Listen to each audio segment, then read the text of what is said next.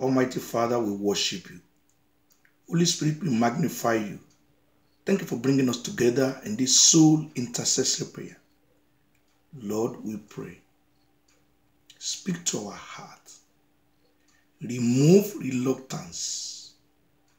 Let us live a life of the redeemed so that we can be resolute with prayer to proclaim concisely the word of God so that people, adamant people, almost persuaded people, confused people, people, Lord Father, in the midst of decision or indecision, to be converted to serve you.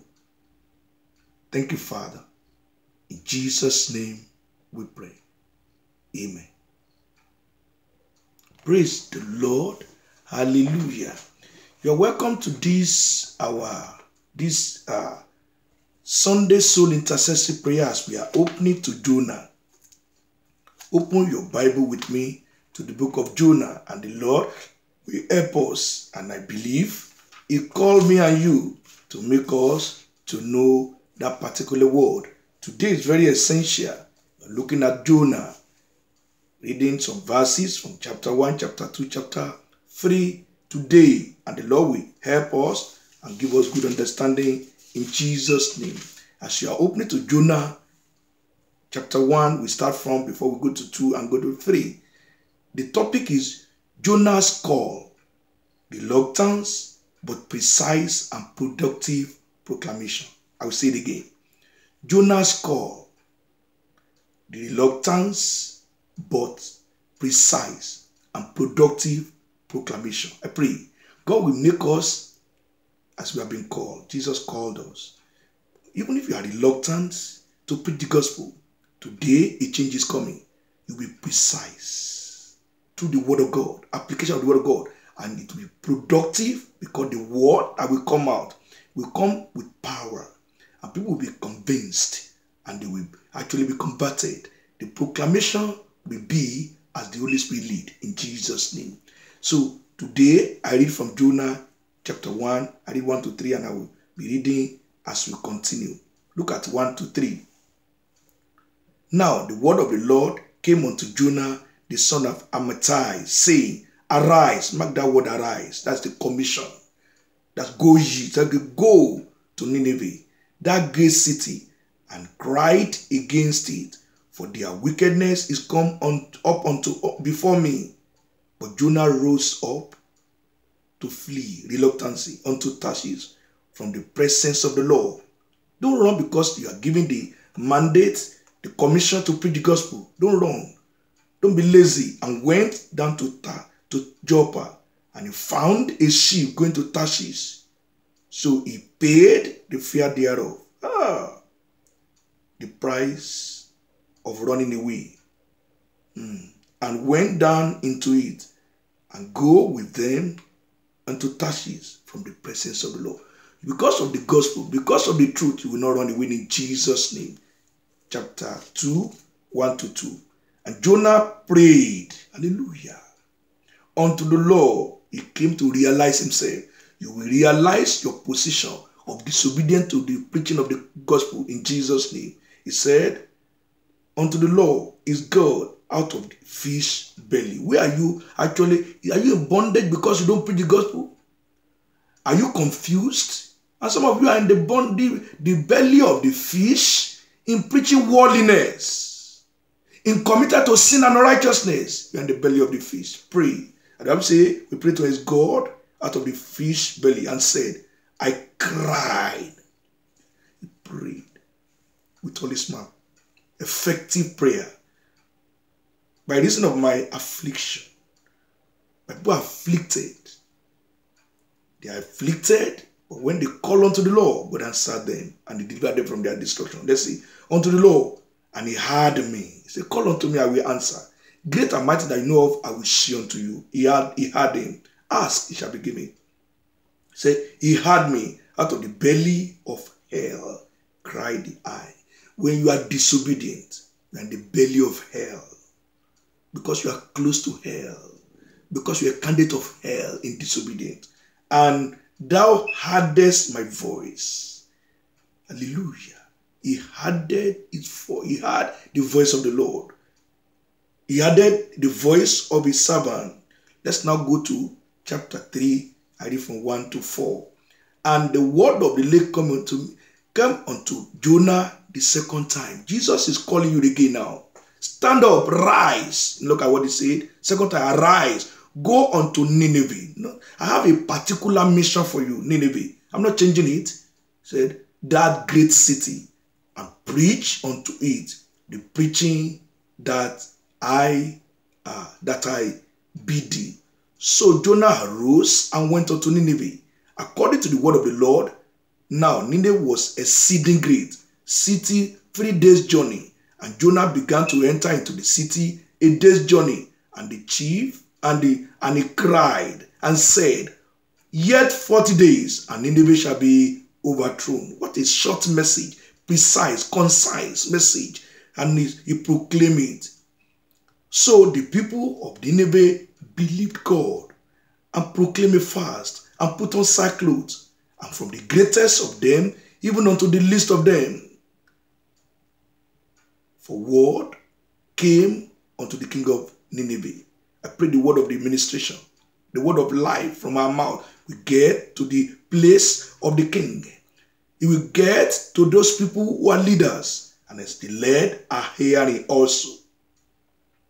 He said, And the word came unto the king of Nineveh, and he arose from the throne, and he laid his robe, and he laid his robe from him, and covered him with sackcloth, and sat in ashes. And he caused it to be proclaimed. He became a proclaimer too. And published. Look at it. That is now. He got in, he got involved. He got inside the reason for God had touched them, prepared them. Pray, we minister to prepare souls and people through Nineveh by the decree, by the decree of the king and his and his uh, nobles, saying, "Let neither man nor beast, herd or nor flock taste anything. Let them not feed. Let them not feed nor drink, but let man and beast be covered with sackcloth." and cry mightily unto God. Sin is what we need to cry about. Yea, let them turn everyone repentance, turning from the his evil way and from the violence that is in their hand, killing, murder, their courtesan, carrying people, kidnapping. He said, Who can tell if God will turn and repent? God will, God will forgive. God will forgive. If you confess, He will forgive. If you repent sincerely and turn away from the fierce anger that we perish not. I pray. If we can turn in this, all this evil that is happening, all this punishment, or this penalty, it's not yet great tribulation and we're suffering like this. Please repent. Verse 10 And God saw their works, that they turned from their evil way. Are we turning in the land? United States, Cameroon, are we turning? Israel, Pakistan, are we turning? He said, saw their works. In China, are you turning at all? Their way, turned from their evil way, and God repented of evil. And he said he had said that he would do unto them, and he did it not. God is merciful. Come unto the merciful God is going to actually overcome. Three points we want to look at briefly. God will teach us, train us, help us to actually avoid being reluctant to the call. The first call is unto salvation. If you are not saved, because Jonah, a prophet, before you become a prophet, God will speak to you. You repent of your sin. You come to Jesus. You come to the Lord, and He will give you a new life. A new life is Jonah is a prophet. Me and you are we called? We have been called. Come unto me. Repent of your sin. When you repent, you now actually give your life to Jesus Christ. Then you will not be reluctant to the commission and you will preach the gospel in Jesus' name. The topic again is Jonah's call, reluctance, but precise and productive proclamation. Three points. One, the prophet reluctant to the purposeful commission. Number two, prayer and resolution to proclaim concisely. Number three, public repentance of the people and conversion. Let's start from point number one the prophet reluctance to the purposeful commission. Jonah chapter 1, 1 to 3. We're going to see briefly the three points. That's point one is the prophet reluctance to the purposeful commission. Now, that's Jonah chapter 1, 1 to 3. Now the word of the Lord came unto Jonah, the son of Amittai, saying, Jonah was a prophet. Jonah, a prophet, must be converted. We're not talking of fake prophet. A preacher must be converted. He was called to be a prophet, and that's why you see his name in the Bible. And God used him through the Holy Spirit to even write down what happened. But if you are not converted, you will just be religious. You will just be going about without a change. You will not be religious. You will be full of activities. You will not be full of the Holy Spirit because Holy Spirit does not come into somebody that Jesus did not recognize. How does Jesus recognize us? We repent, we renounce, we restitute, and we are redeemed to live a holy life. Then we now get the call. So he now said, He came unto him, verse 2 Arise, go to Nineveh, that great city, and cry against it, for their wickedness is come up before me. All the world is lying in wickedness. They are lying in darkness. They are lying in sins, calling you to go out there. But maybe there's sin in your life. Repent and accept Jesus so that you can reach unto the world. Hidden sin, secret sin, external sin, internal sin. You need to repent and come to Jesus so that you can quickly, firmly, precisely, concisely proclaim the word to the darkness and wicked world. Verse 3 But Jonah rose up to flee unto Tarshish from the presence of the Lord and went down to Joppa. And he found a ship going to Tarshish. He paid the fear thereof. Ah, can you see the fear, the price of reluctancy, the fear of disobedience? He paid money. You don't need you don't need to be paying money to go and hide that is the price. You are paying price of disobedience in your ministry, in your life. That is why you are not happy. They say you are prospering, right? They say your church is growing, but you are not doing the real evangelism, the real truth. You are not preaching it. And here you are. You came all the way. You left your country from Nigeria to Ghana. You are not doing evangelism. Think about it. You left Brazil and now you say you're going to Europe and you are not doing anything about it. Here you are in Baltimore. What are you doing? Here you are in Silver Spring. What are you doing? Here you are in Chicago. What are you doing? Here you are all over. We can see Jesus. We can see the life. We can see the light. We can see telling people to change from their wickedness, from darkness to light. Jesus is the light. Tell it to them. He said in that place and he paid the, the fear thereof and went down into it. When you go out of the presence of God, you go down. I pray you are coming up in Jesus' name. And to go with them unto Tarshish, unto, from the presence of the Lord. Don't run from the presence. He love you. Let's go to point number two.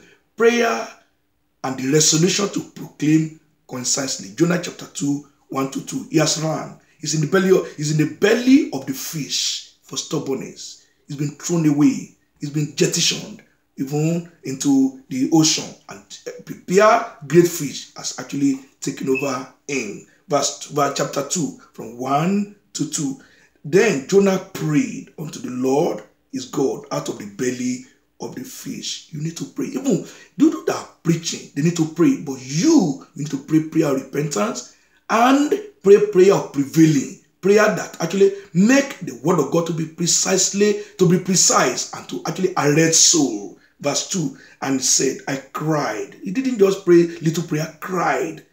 Agonizing prayer, effective prayer, prayer that is actually that will prevail as a righteous person now because he combated. He actually he came back and be combated. He said, Of my affliction unto the Lord, and he had me out of the belly of hell, cry I, and thou hadest my voice. God will hear you when you pray. Look at verse chapter 3. Look at chapter 3 now from verse 1 to 4. And the word of the Lord came unto Jonah the second time, saying, God is calling to you again because of the importance of the commission to go into the world. He's telling you again. That's why he's sending me to you. You, yes, specifically to change, pray, and come. He said the second time, saying, Arise. He didn't change it. Go to Nineveh. God is so straight. The word he speaks to us, they are straight.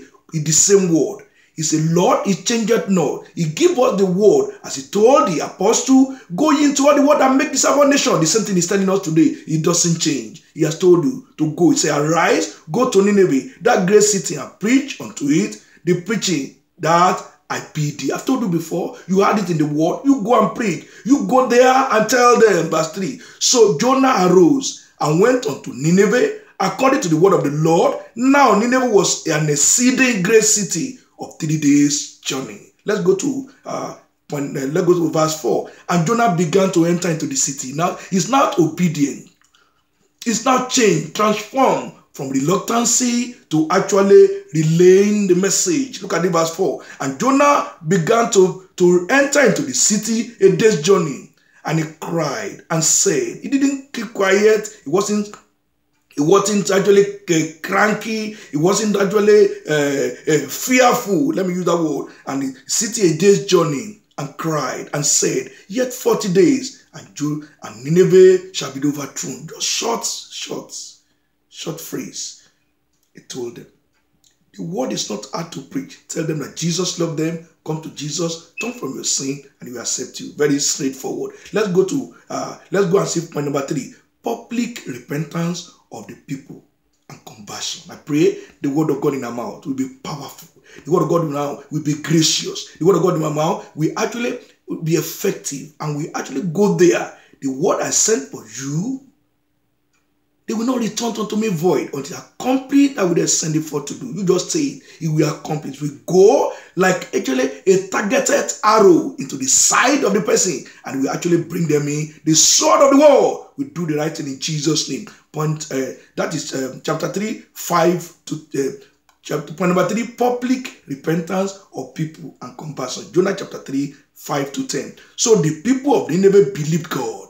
Your your your audience will believe God.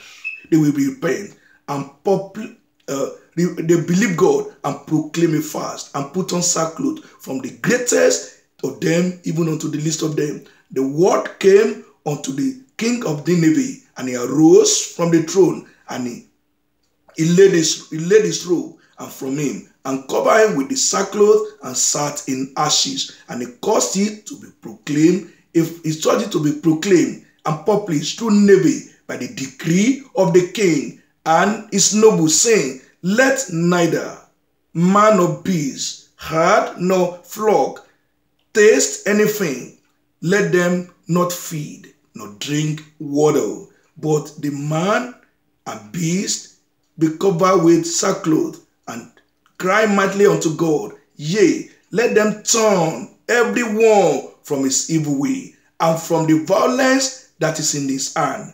Who can tell if God will turn and repent and turn away from his fire's anger and we perish not? And God saw their works. He saw their their, that means their, their, their activity, their mind, their, their willingness to obey. He said that they turned from the evil way and God repented of evil that he had said he would do unto them. And he did it not. God will not do evil to that repents. So let's go out there and tell them. Let us pray. Father, we thank you so much because you have given us the grace to see Jonah who was reluctant to the call. Eventually, he prayed and precisely proclaimed the word of God, and they were converted. He will give us, as we've given us this mandate, we will go prayerfully, we go preaching, and so shall be converted. And the kings and the chief will even proclaim for us so that we will be radiate all over the world. Thank you, Father. In Jesus' name we pray. Amen.